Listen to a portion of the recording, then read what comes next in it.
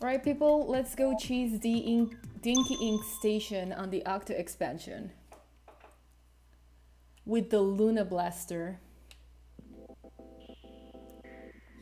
Alright, so uh, some might be a little off. But let's go.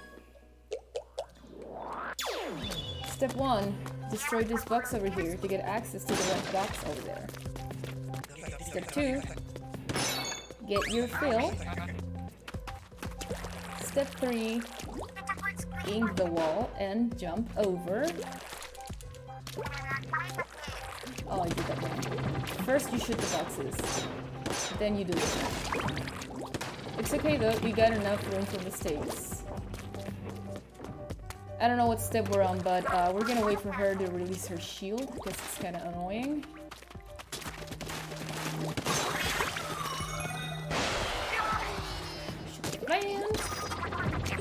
And you're done.